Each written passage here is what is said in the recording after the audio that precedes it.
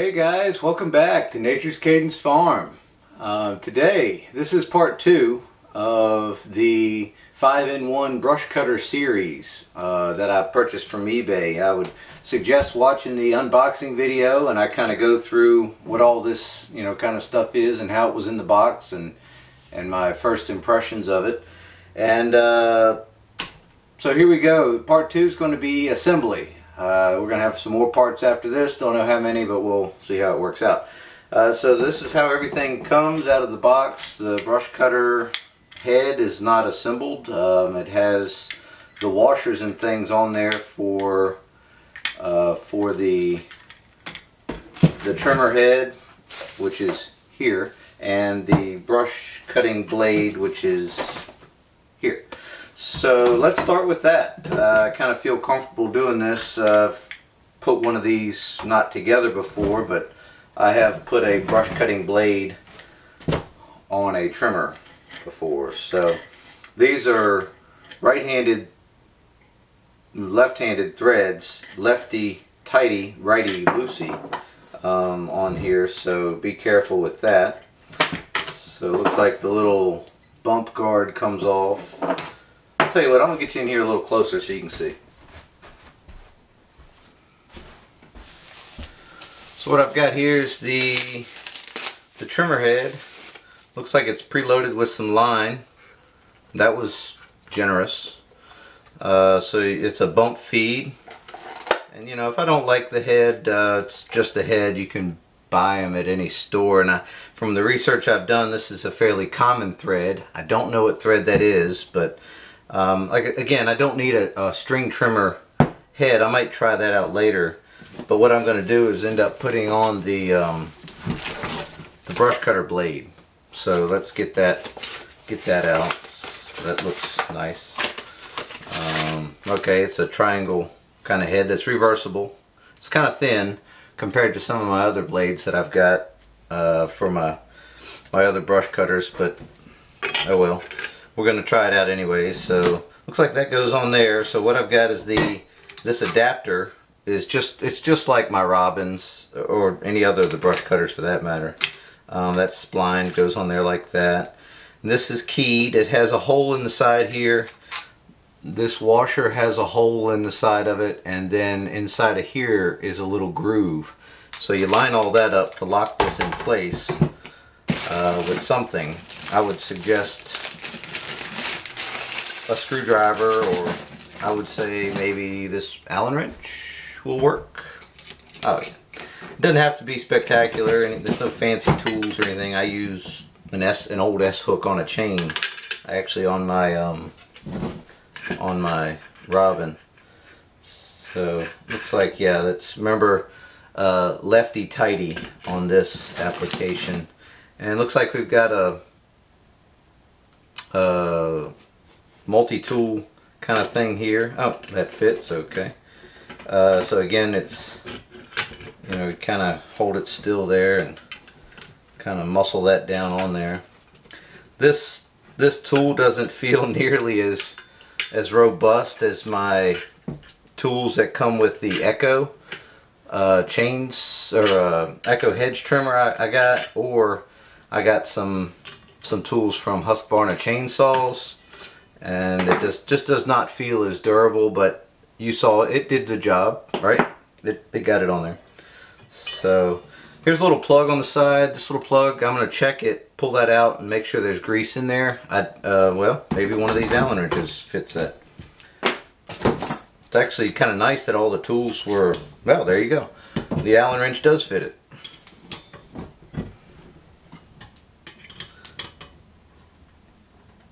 and that's that's in there. They've got a lock washer and an actual flat washer on this bolt. I hope it's not cross threaded, it's really tight. Good gravy. Maybe they didn't tap it out or the tap was was not the right thread or something. Golly. Anyways, alright, so let's get that out of there. Alright, well, it, there, I don't know if you can see in there, but there is some grease in there, so that'll that'll be good for now. I keep a close eye on those heads on my other ones so I'll probably do the same to this too.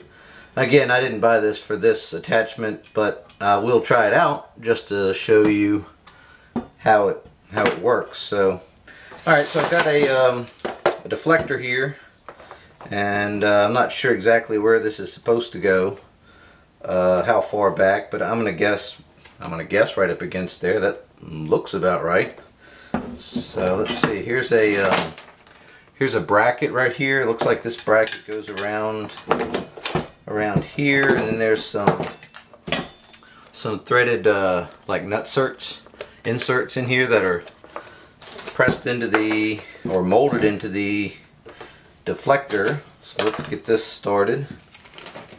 I'm gonna guess it's these bolts. These look like they have the right thread.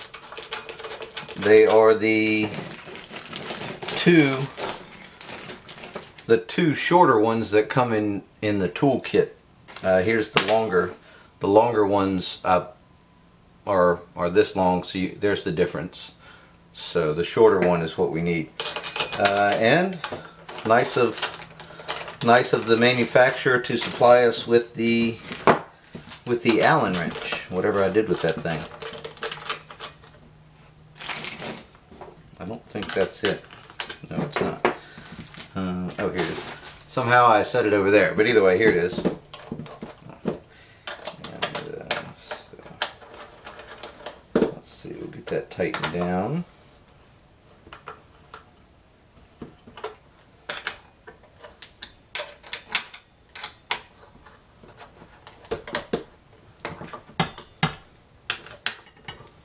I'm kind of hesitant to over tighten this, but um, I'm going to tighten it down until it pretty much stops. That'll work. Looks like I got it fairly square on there. Um, if I need to tweak it later, I can. Alright, so on the deflector, there is a a cutter. A cutter here for the for the grass and it shows on the back here that the string goes that way. So this is rotating like that. So I'm gonna guess that this is going to mount on there like that. So that's nice. And here's they, they've supplied these little silver panhead screws. So look like they're gonna fit on there just fine. And the the multi-tool has a has an Allen, Allen, a uh, Phillips head built into it. So I guess that's kind of nice. Although it doesn't fit the head very well. I'll tell you what, before I booger up those threads, I'm gonna I'm gonna get a real screwdriver and see if that makes a difference. I was gonna try to put this whole thing together with this tool kit, uh, but I don't I don't want to mess this up this early in the game. I'll get them started with this. But I do have a, a different screwdriver. Alright, I'm going to pause the video and uh, I'll get back, back with you with the real screwdriver. Alright, here we go again. I've, I've got a, uh, a little multi screwdriver here that comes in a in a tool kit of mine but I think it'll be adequate for what we need. I'm still kind of skipping a little bit. Let's try number two. That was a number one. Oh yeah. Number two looks like it's gonna be the trick. So number two Phillips. Oh yeah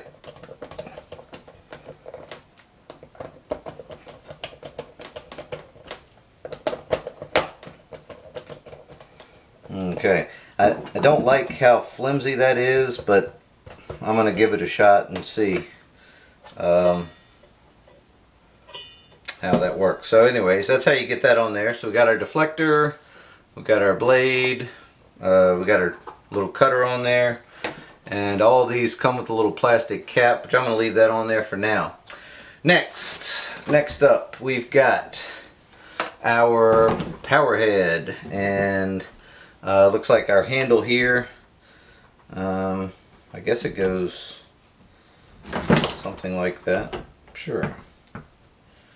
And then the bottom of it is this this little guy here. Now all of it looks like it goes around this rubber rubber baby buggy bumper and yeah so that's kind of an anti-vibration kind of deal so looks like it takes these long these long bolts and these nylock nuts. Let's see if that's the right yeah. And they th just thread right down through the handle there. If I can get it in there alright and then looks like maybe the smaller Allen wrench. There's a larger and a smaller one. I don't know what size they are but they come in the kit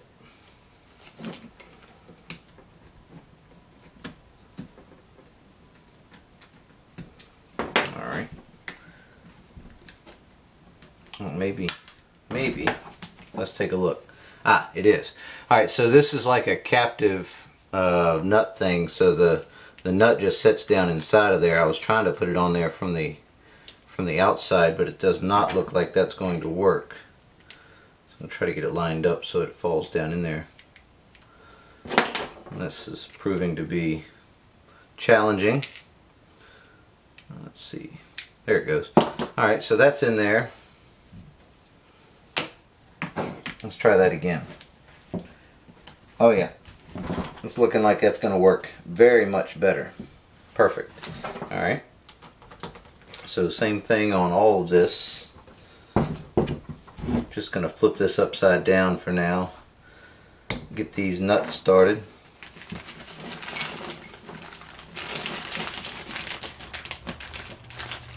So it takes four nuts, four bolts, pretty straightforward.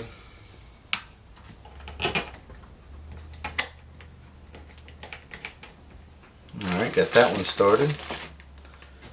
And this one here.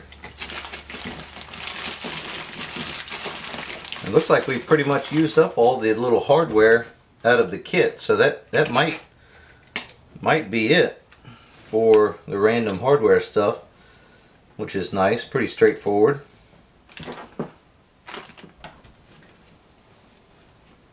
Alright, that started. Oops. like that. There we go.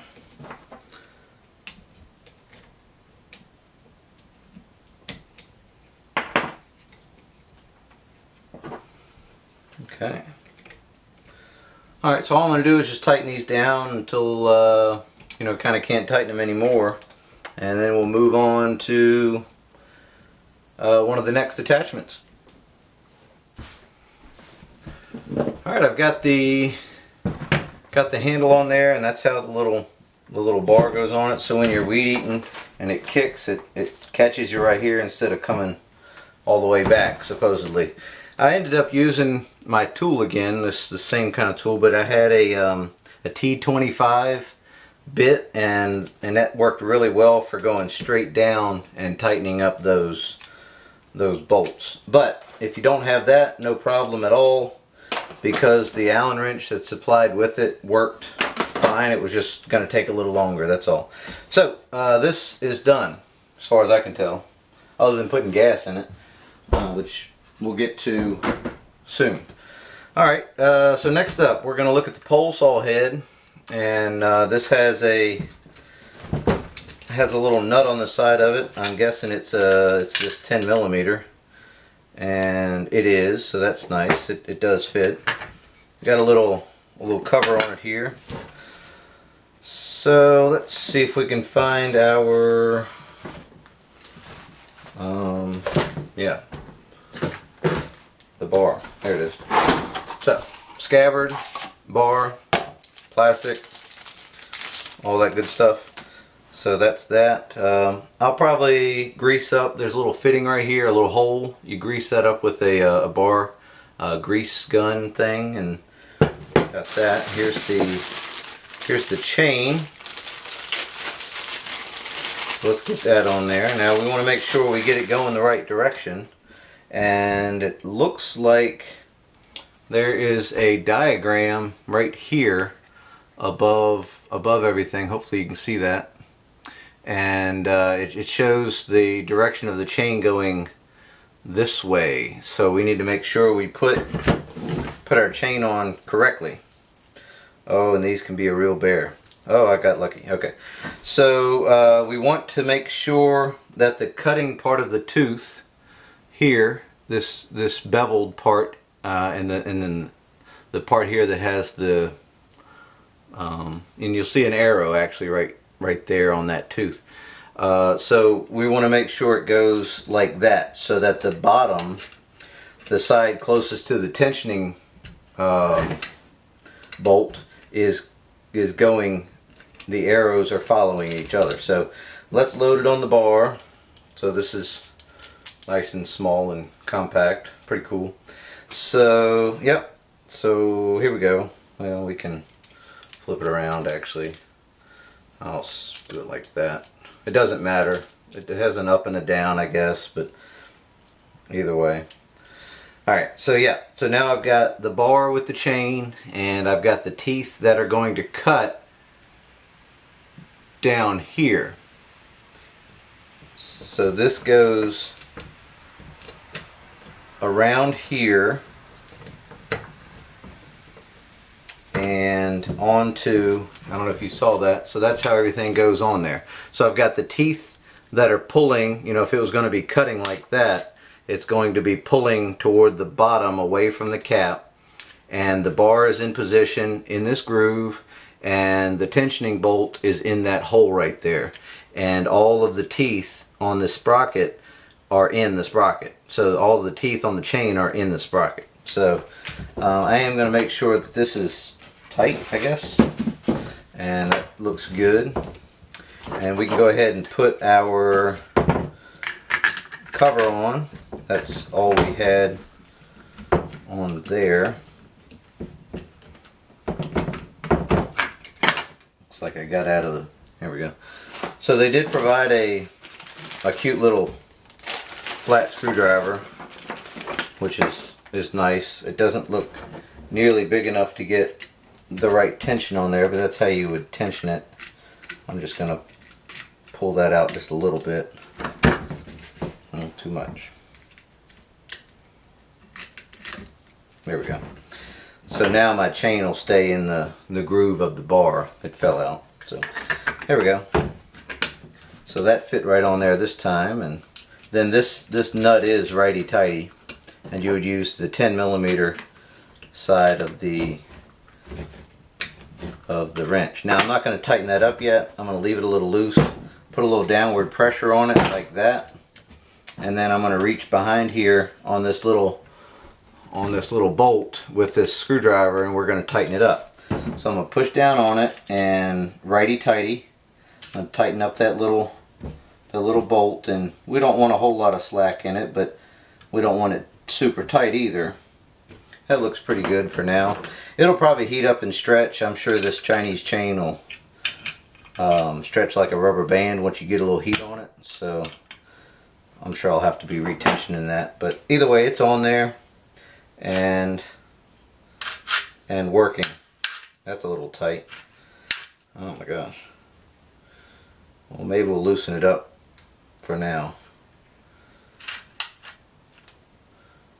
Maybe the tip is just so dry. Yeah, let's loosen that up for now.